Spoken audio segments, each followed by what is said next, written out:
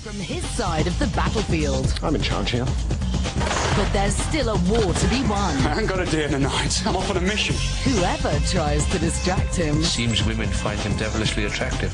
Don't miss Sean Bean as Sharpe. That's me telling you. Flirting with danger. No! Sharpe.